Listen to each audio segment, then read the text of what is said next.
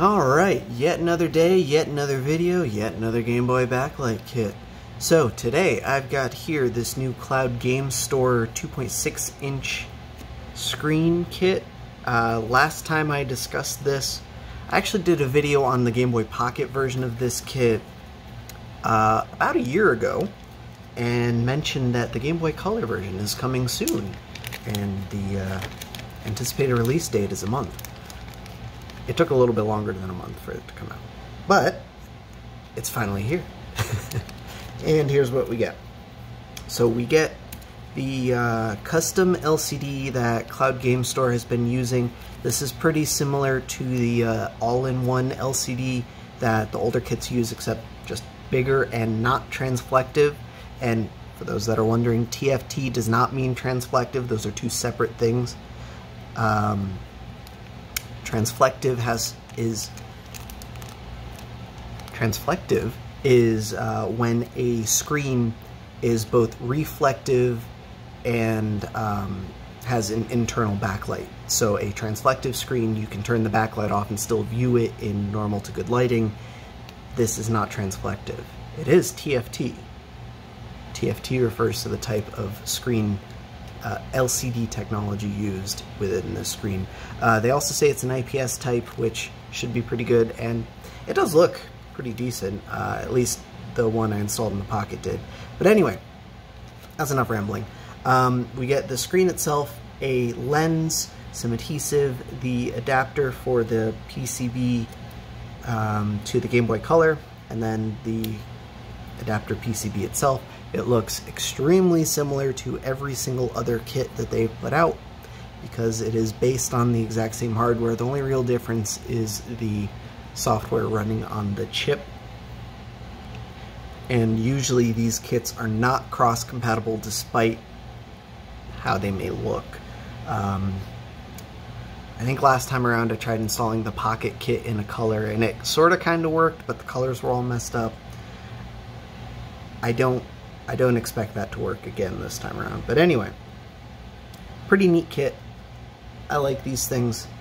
And uh, I guess let's go ahead and get this installed. So this touch sensor, I'm actually not 100% sure which orientation the pins go. And I usually don't like or don't even end up using these touch sensors, but plugs in something like that. We've got a custom screen lens. Notice that the um, location of the image on the lens itself is a little bit lower than some of the other Game Boy Color kits that we're used to. Uh, you notice the top bezel is a lot thicker than the bottom bezel. So unfortunately, these screen lenses might not be compatible with the other kits despite the fact that the image size itself is about the same uh, only because the placement is very, very different. Uh, might be might be fine with the uh, like the one chip kits with the on-screen display where you can adjust the position. Um, I know with the new Funny Playing kits you can do the same thing, you can adjust the position, but I don't know if it allows you to adjust it that much. And even then, Funny Playing is offering laminated kits, so it's probably not worth bothering anyway, because the laminated kit is probably going to give you better results than something DIY like this. But anyway, let's go ahead and get into the install here. Tonight's donor is this Game Boy Color that I found in my parts bin. I have no idea what's wrong with it because I took exceedingly bad notes. Um, I put that it needs a speaker. I can see that very clearly. Uh, but in testing, it does seem to work, so we'll just pop in uh, one of the funny playing speakers that I have laying around on my desk. If I recall the context correctly, this thing was working perfectly fine, um, but I needed parts for another Game Boy Color, and this thing just got uh, drew the uh, long straw. So anyway, let's go ahead and get this torn down. And note that this is a solder-free kit, but I will be doing some soldering for the uh, speaker because I think I would like to have audio. And I have somehow misplaced my bits.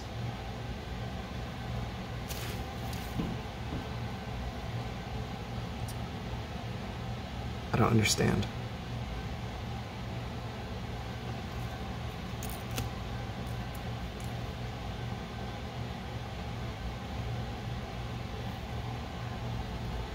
I just, I just don't understand.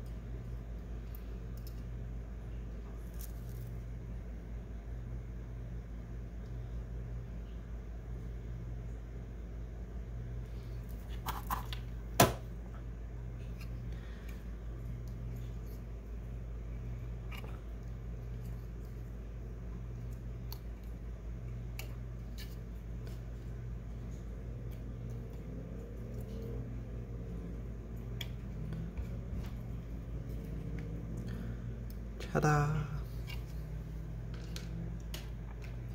Alright, so let us get a baseline benchmark for power usage with this thing.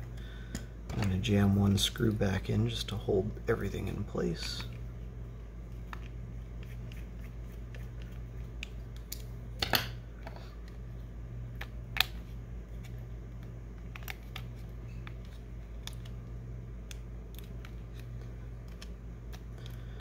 Wires are hair long. They could use some trimming, but good enough for our purposes. Get this plugged back in. And I'm going to test with Pokemon Silver. I'm pretty sure this is the game I usually test with. It's been so long since I've done one of these. I found my screwdriver bits. Frickin' magnets. They were stuck right on the bottom of that thing. Alright. Oh, I'm feeling so much better. I thought I was going insane. Okay. So this is an MDP XP. It is a Miniware power supply. I'm just going to use it to provide 2.5 volts. The Game Boy Color, which is pretty similar to a mostly depleted pair of double A's. But we're going to grab a baseline power usage measurement so that we can compare with the new kit. And the stock Game Boy Color, note I have working audio now, at 2.4 volts pulls anywhere from looks like 86 milliamps to 93 milliamps, which is pretty typical of Game Boy here. Nothing too fancy.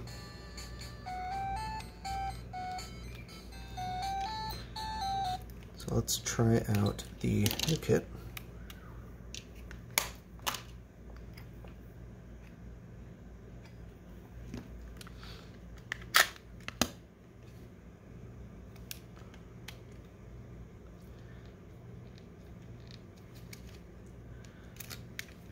And at this rate, I'm just going to go ahead and pull it out of the shell.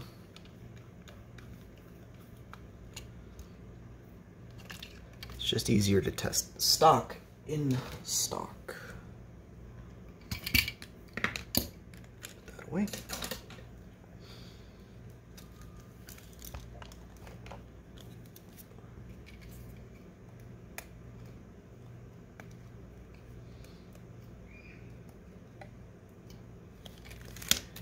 that in there.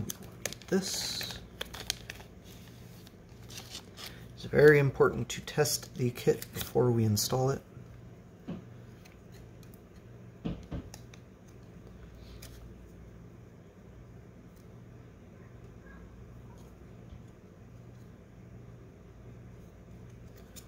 Just trying to get the orientation for this thing. I haven't done one of these in a while and I totally forgot. We want the white line up on the LCD connector, pins down, white line up. Snap that closed. Then that'll fold something like that. And then on this side, you want pins down. Jam that in. Because on the Game Boy Color side, it's pins up.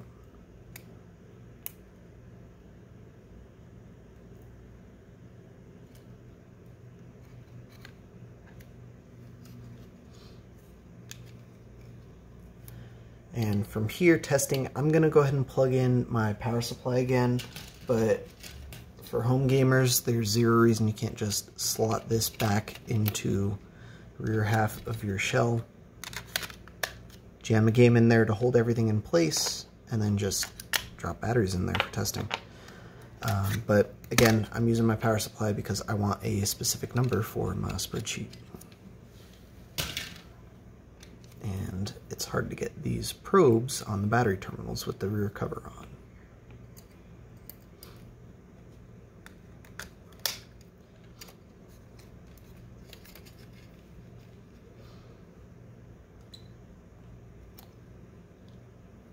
Hey.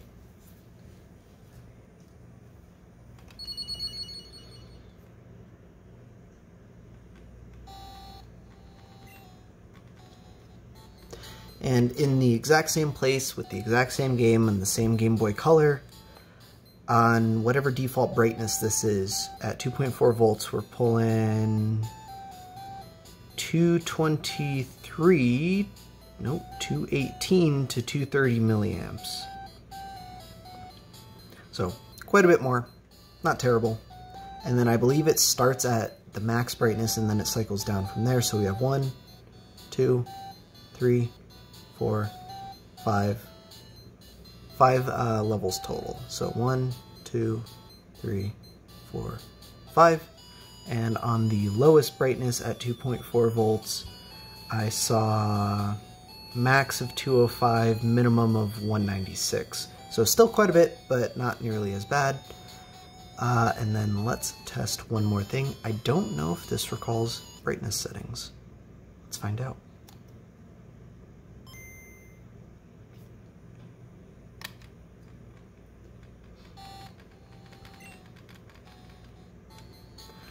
Like it resets back to the default every time. So if you want to use it on low brightness, you'll have to tap it a few times every single time. But overall, not bad. I'm really digging how it looks so far. So let's go ahead and continue the install, especially since we know everything works now. Alright. Get the power supply out of here.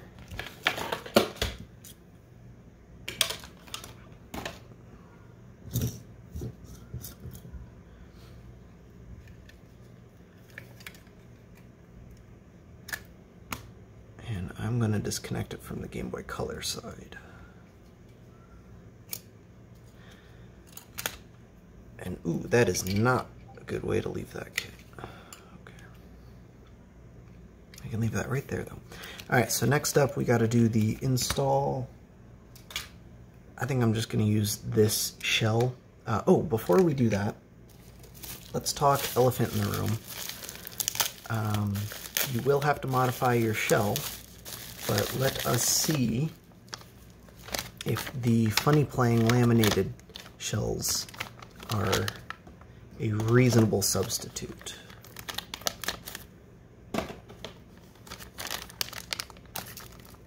I should have tested this before putting away everything, but oh well. So I believe this should go in there, just like that.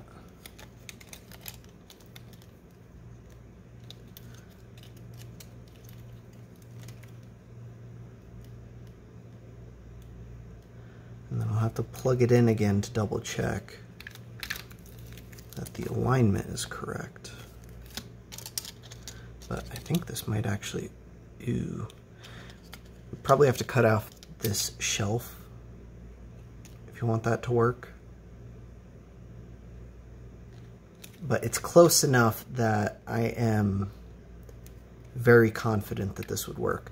Also, note how much smaller this LCD is than the Q5 LCDs.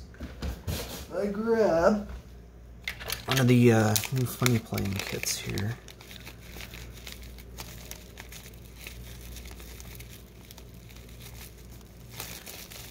Get it out of here.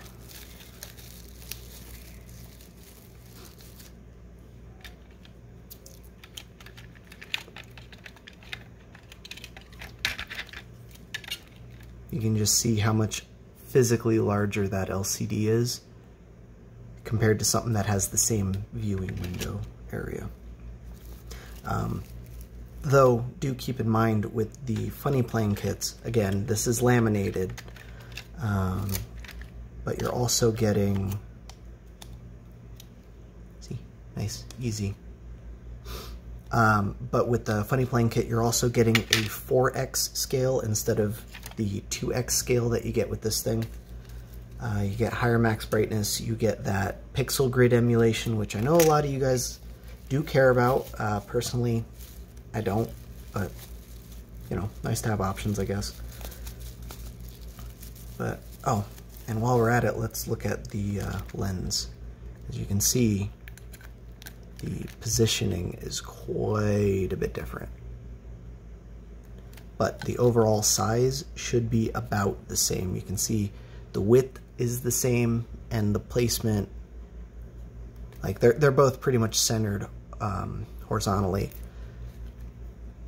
Vertically, they're different, but again, the place, uh, the size itself is basically the same.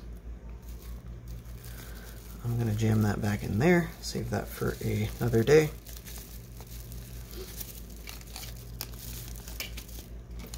We will take a look at this in another video. This is a new kit compared to the one that I did last time, but whatever. I'll worry about that later. Anyway. The new lens will fit just fine if you want to use one of these shells for this kit. I don't see why it won't work. And there's even less trimming that you have to do, but yep, everything works good. The difference is you will have to uh, self self laminate your LCD, which I guess is actually something I'm interested in trying. So we will save the adhesive for another time. All right. Anyway, that was a fun tangent, but let's get back to this buttons before I lose them. We're going to remove the stock screen simply by giving this thing a little twist. Screen will pop out. And then, usually, jam something in there to pop it out. The stock screens are quite a bit more resilient. Yeah. Give it a twist to both sides. The stock screens are quite a bit more resilient than anything modern, but also we're replacing this so we don't really care too much if it gets damaged. Nice to not do that, but in the off chance it does get damaged, you know, I'm not going to cry about it. We will need to remove that. That is the stock dust gasket. It does a pretty reasonable job, but unfortunately they're not reusable. Anyway, let us get on with the trimming. Set this stuff aside. We need to cut out this entire bottom shelf and we need to enlarge the viewing window. So in this case, I need to cut out, this is not a good marker for this.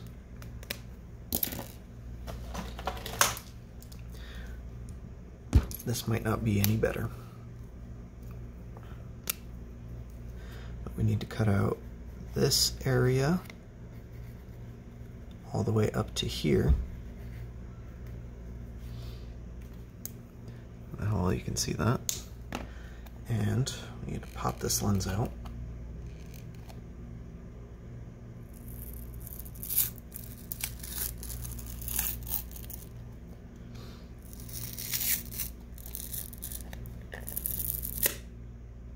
Ta-da. There you go. Now you can see my markings nice and clear. Um, we also need to make this quite a bit bigger. Uh, one thing we can do is we can place, I don't think this is the right adhesive. Pretty sure this is pocket adhesive. Um, because that doesn't, doesn't quite fit. All right, uh, I don't know where that came from then. I don't know if my kid even came with adhesive. I'll have to search. Um, the lens, we can use the lens because I have a clear shell. Jam that in there and you'd have to peel off the backing, which I'm not quite prepared to do just yet. But you peel off the backing and then you can mark it from the back how much to trim off. I am just going to eyeball it and then double check later. Uh, but what I'm gonna do, I'm gonna trim this off with my Dremel because you know I have the tool, I'm gonna use it. Uh, but the actual opening itself, we're gonna do with a knife. Uh, but it looks something like this.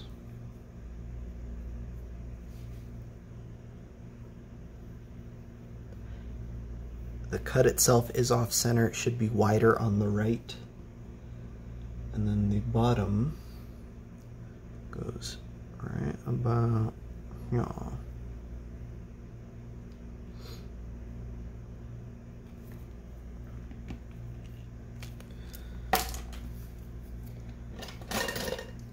And for cutting this part, I'm just going to use a utility knife. And the idea is you just make a line, and we can always move the cut later. It's a lot easier if you get it in the right place the first time.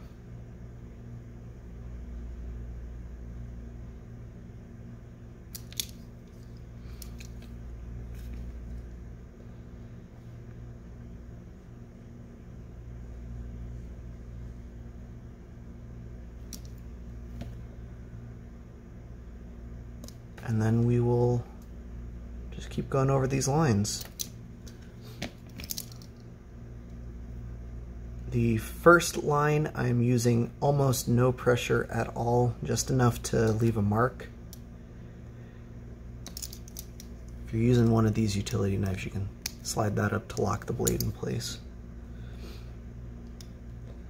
Uh, and then I'm just going to keep going over it adding a little bit more pressure each time. Once it gets deep enough, it basically guides itself.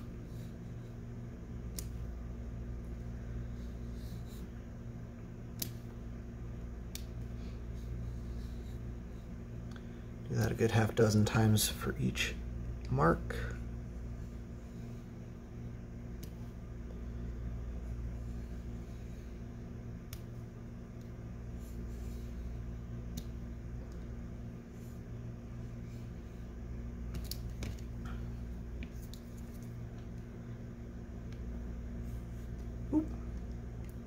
That's what happens when you add too much pressure without making your line first. You veer way off course.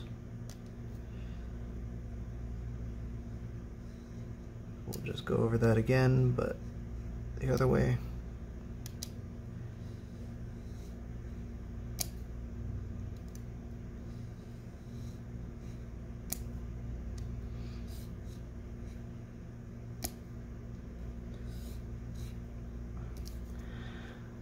Oh, it's also probably worth noting you should do this from the inside not the outside. Um, I don't know why I did it from the outside. If you do it from the inside, it's a little bit tighter to get in there with the knife, but you can do it, you can do it no problem. Uh, but if you do it from the inside and your knife slips, you'll only mark up the inside of the shell. If you do it from the outside and your knife slips, well, you're marking up the outside of the shell. And we don't want that.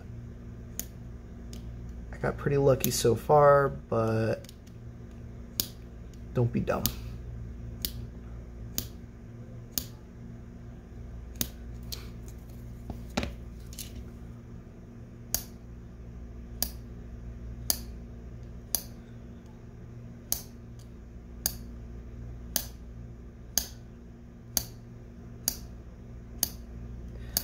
And we're gonna do quite a few more cuts on this line just because getting this started is going to be more difficult than uh,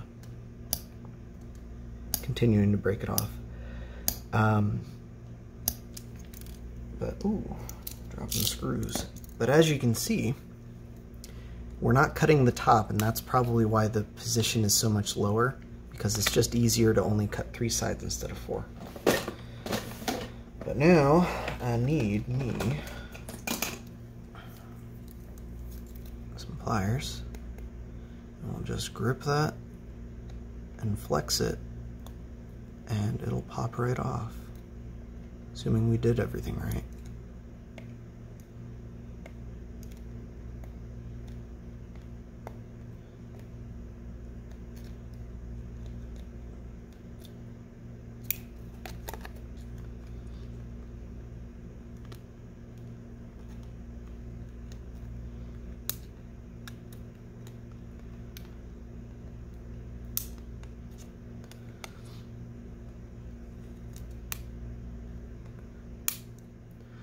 Clean cuts every time. Notice even though I slipped at that one part, because I didn't score it too deep, it didn't break off there. But that's it. We're done. Well, not done, um, but we've got mostly trimmed up and then we can clean up the rest with the knife.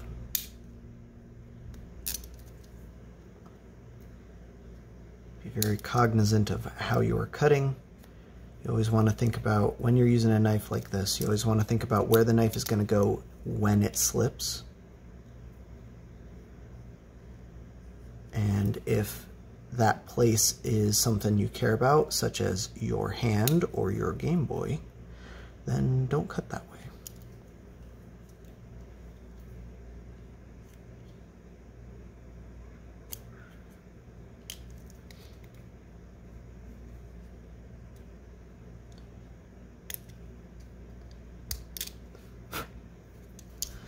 And that's it. I will have to double check the cut with the lens um, when we get down to the install, but that's pretty much it. Uh, now for removing this part, actually let's double check. I'm eyeballing it and it looks like it should fit without even cutting that out. Oh no, we need to cut that out. Okay. Now for removing this part, we can just go at it with flush cutters. And since this part is under the screen lens, we should be able to get away with it. Uh, but I have a better tool to use to do this, so I'm going to use it. Um, but it is going to mark up the shell pretty significantly. Uh, a word of note though, if you're going to use flush cutters to cut up your shell, I highly recommend these ones. These are CHP 170 cutters. Uh, they are sold by Hakko, but I don't think they're made by Hakko. These are significantly better than the cheapo generic flush cutters that maybe came with your Ender 3 or, you know, if you search flush cutters and sort by cheapest, those are kind of junk. I have I have had those break off on me when I'm trying to cut shells. I've never had these break, and I've gone through several pairs. I mean, you, you cut something stupid and you wear out the uh, the cutting edge, but they don't actually break. And I'm not sponsored by them. I just really like these flush cutters, and they're like six bucks. So, what the hell? Anyway, I'm gonna go clean this up on the Dremel. I'll be right back. All right, easy peasy. This is why I use the rotary tool. Look at how clean that cut looks. Uh, it could be better. There is still a bit of a lip, and the flatter this is cut, the better the install will be, but like I mentioned earlier, now that I'm thinking about that laminated shell, I, I, I can't stop thinking about laminating this kit. Um, so I will probably end up going that route. But anyway, from here it would be a simple matter of using your adhesive, dropping that in, and then dropping your screen in. Um, oh, it is definitely worth double checking that the trim is good. So let's let's try that. Drop that in.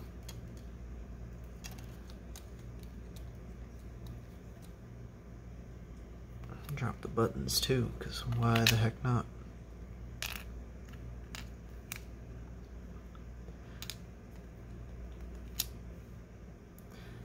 Definitely worth using the adhesive if you want your install to be permanent. If not, you know, maybe not. Or maybe just use a little bit of adhesive.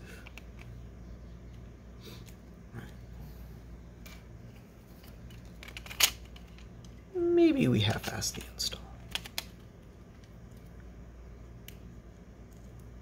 I like that the touch sensor isn't going over the IR window now. Not that I actually use IR, I just like having the option. I am one of the six people with a working Pokemon Pikachu 2. And I do have Mystery Gift unlocked. Where's my screwdriver?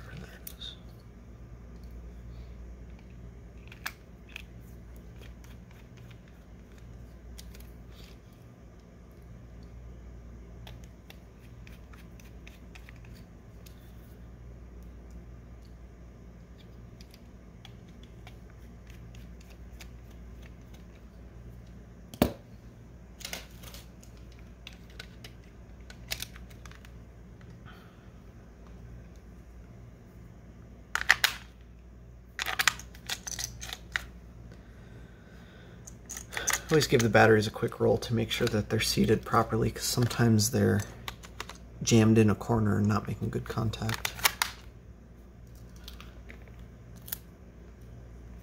I forgot the IR window after all that chat about IR. But, ta-da! As you can see, I did not get my trim right, so I'm really glad I checked this beforehand. It's so close though. I think we could have gone a little bit more on the left, a little bit less on the right, and we need to do a little bit more on the bottom. But this would work if I didn't have standards.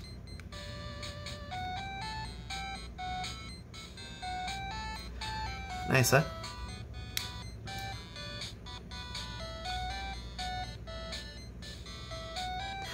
Nice thing too is I'm not seeing any um, like frame dropping, screen tearing, anything like that. Not that I expected any, um, but the early versions of the Cloud Game Store kits, primarily with the smaller LCDs, did have that problem, so it's always nice to double check that that problem has since gone away. And we have The sensor isn't quite registering.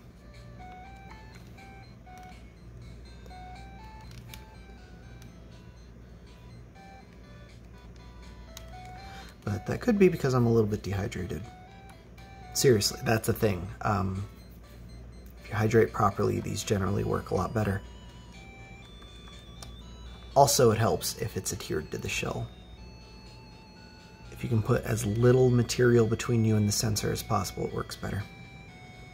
But anyway, let us carry on. I want to cut from here all the way over to here. And what are you thinking? Should we bring that in a bit? Yeah, just in case. Alright, I'm gonna go ahead and tear this down again. And let's make some modifications.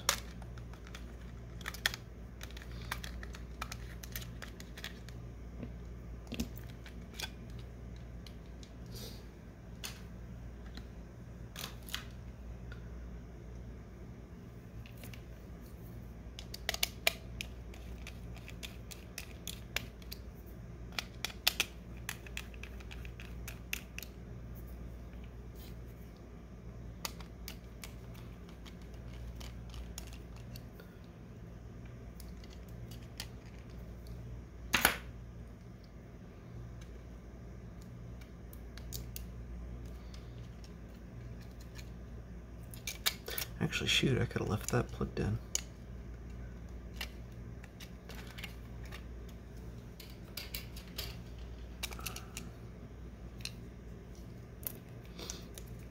Alright, so this bottom one is going to be super easy. So what we can do, take the knife, lock it, and then take a nice and sharp portion of our blade and just whittle it down.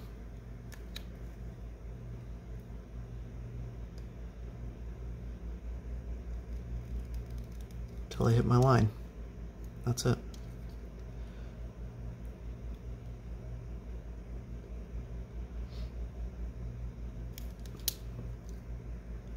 I took a few cuts.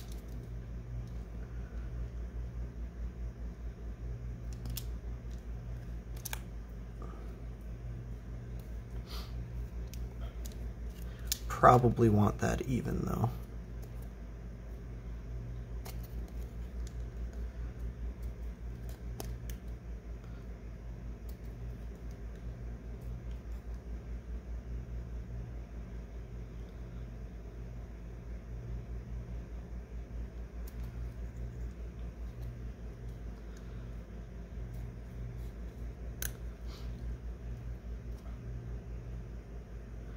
All right, and that's it. Another option we have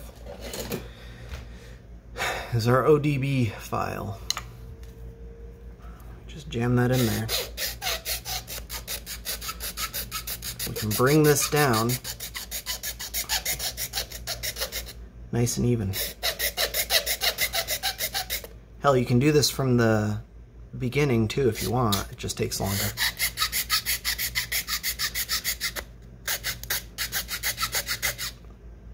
Do not recommend using a needle file for this. It'll take so long.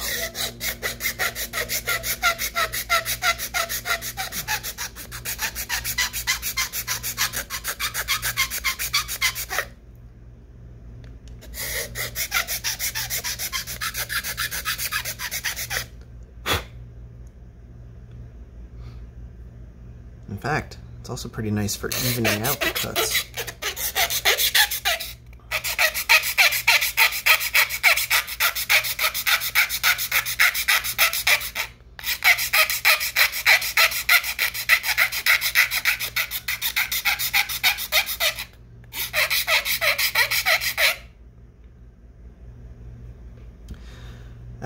Probably worth noting, I'm going to do the rest of this off camera, uh, but it's probably worth noting that files, there is a method to the madness, and there is a directionality to them, but since I'm not using this on metal, I really don't think I'm going to hurt the file. Um, the idea is you're only cutting on the push stroke, I believe, not the pull stroke, because the teeth are shaped in such that they only cut on one stroke. Um, So if you're using this on metal, it is a good way to wear down the teeth, but I don't think I can wear down the teeth on a plastic shell, so I'm not too worried about it. But anyway, I'm gonna get this cleaned up. I will be right back. It's messy, so probably don't do that over your desk. But if you're willing to take the time, it is probably going to yield the best results for a shell trim. Ta-da! Also probably wear a mask. That was dumb of me to not wear a mask. But anyway, yeah, this is just a big bastard file. Well, just bastard file. Um, you can grab these at Harbor Freight. Not the best quality from Harbor Freight, but again, we're using it on plastic. It's good enough. Uh, very glad I grabbed one. There we go. We're all set. Let's get this thing finished. So again, I am going to do this the lazy way and not use any adhesive because I really want to try laminating it. But it should just be a matter of throwing our Game Boy together now.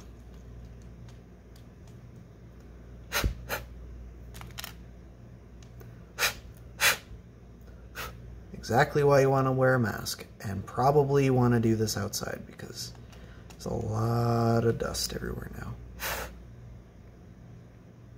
That's not Start and select. Alright. In there.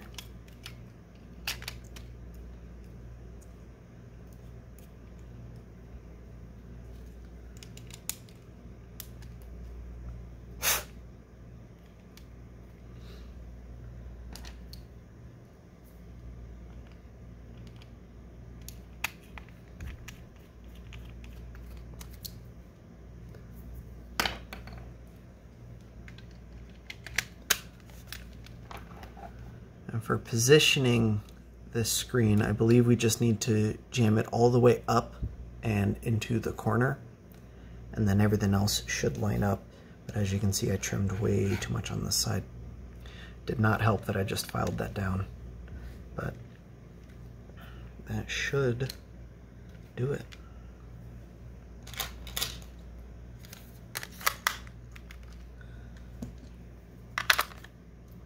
and double check the alignment one more time.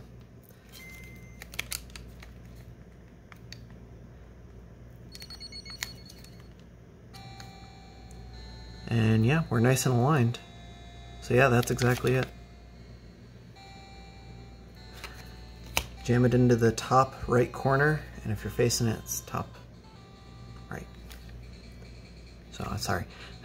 From the front, it's the top left from the side you're going to be working on, it's top right. There we go. Still can't get that working. That's a shame. Oh well, I'd leave it at the default high brightness anyway. Don't forget to remove the um, peel. That's what that red line is. Let's try flash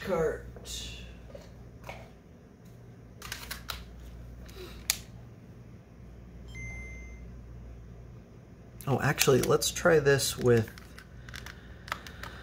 regular batteries, not my lithium batteries.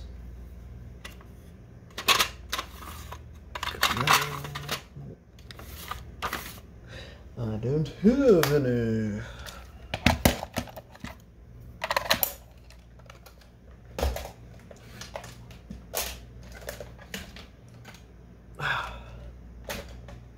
I don't have any regular metal batteries. How does this happen? All right, let me go grab some off the charger. Never mind, didn't have to go far. Hey look, yet another Harbor Freight staple.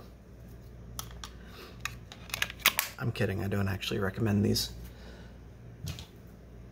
But I didn't know that until I had them. And now that I have them, well, they do still work.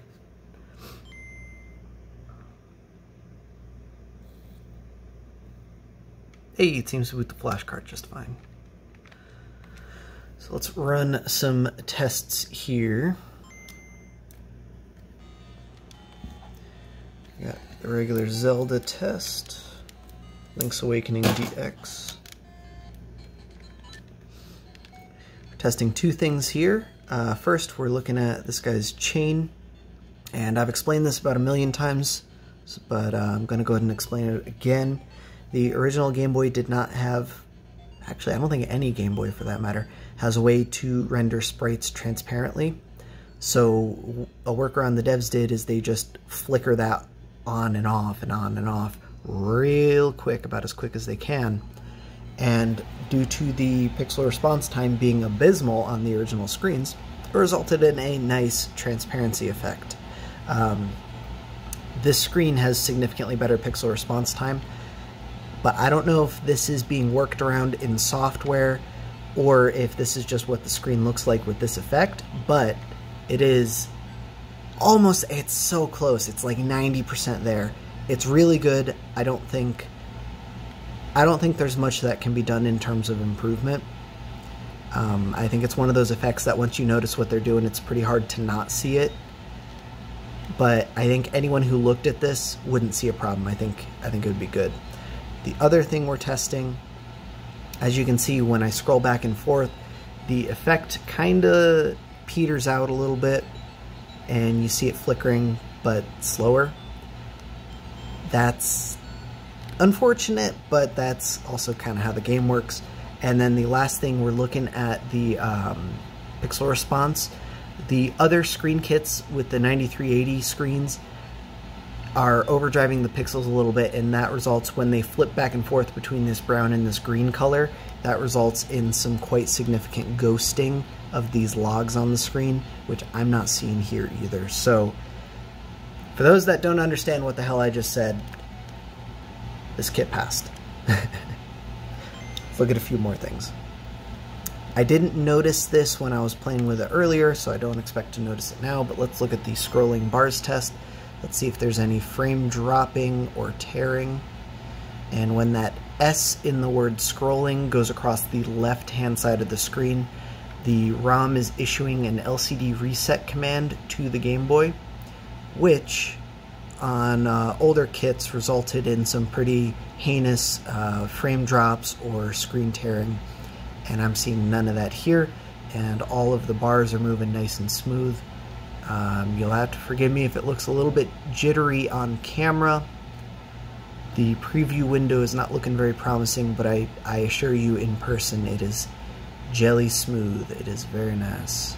Buttery smooth, I think is the uh, actual proper term there. But yeah, I'm, I'm, I'm pleased with that.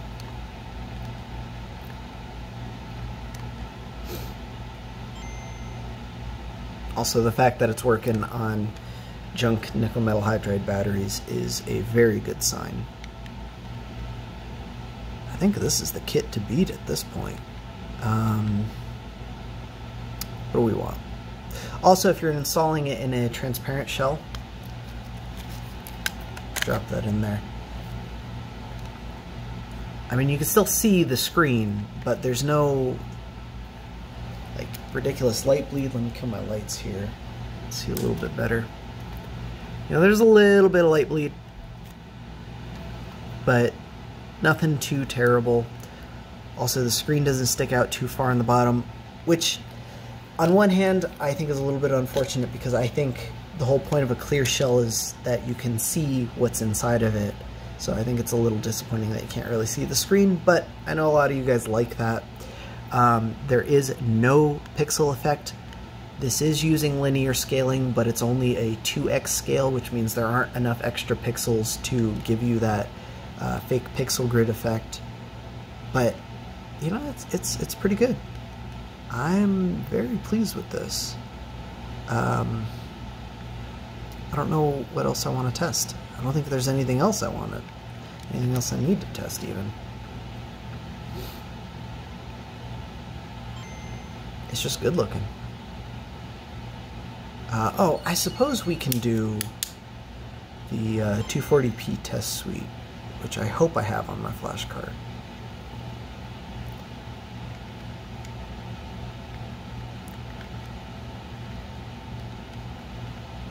I don't think I have it on my flash card. That is unfortunate. I don't think this is it. But let's try it. Hmm.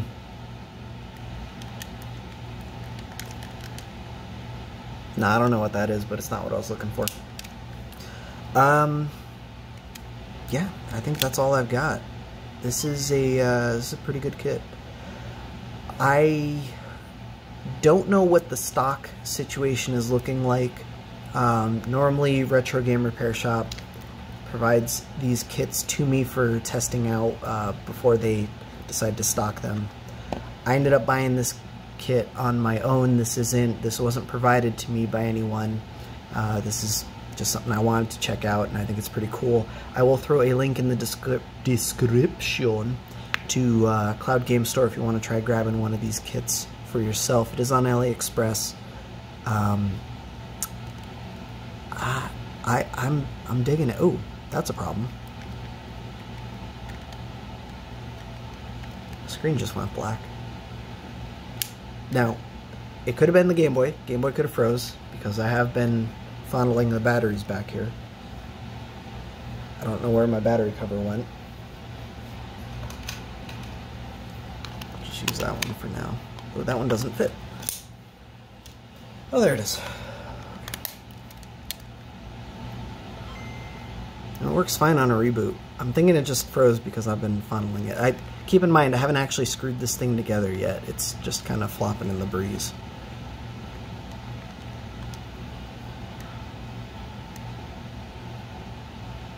I guess let's play this a couple minutes. I'm going to plug in my phone because I didn't realize that my battery is not charged.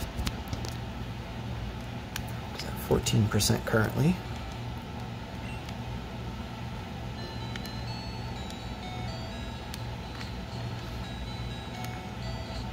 I'll just play this for a minute.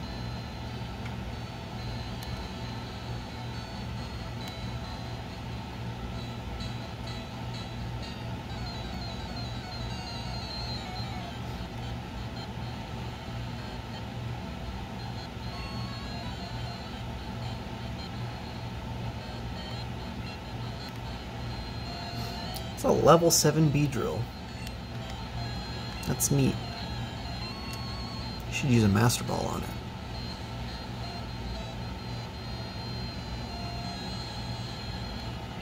Oh no, it broke free.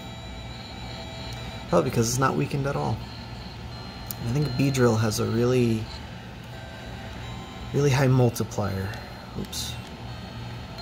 So, whatever. Bye Beedrill. I'm not going to save this game anyway, it doesn't matter. It's on my flash card, not the actual... Wow, it even leveled up my Quagsire. Wow.